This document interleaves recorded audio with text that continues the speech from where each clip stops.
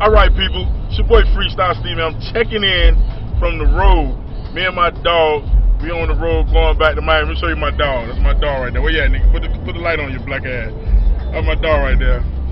we on our way back to Miami, you know what I'm saying? Just riding. Just left Jacksonville. This for the blog, for my girl Felicia. You know what I'm saying? The It Factor. Man, Freestyle Steve is Timbaland's official DJ. I'm telling you, I'm the baddest motherfucker in the planet. Kiss my ass. I want to say F what you heard. I'm going to say F what you heard. I want to say the word, but F what you heard. Now, I'm the motherfucking man. Hey, your light went out. I'm going to show y'all how we ride. Look, look, look. Look, this is the road right here. Put, put it out in the front. You see the road. See? We on the motherfucking highway riding. We, we on that highway riding. Now, listen. When I get back to Miami, we going straight to Club Crew NY. Then Friday night, I got a DJ Crew. Saturday night, we jumping on the plane going to LA.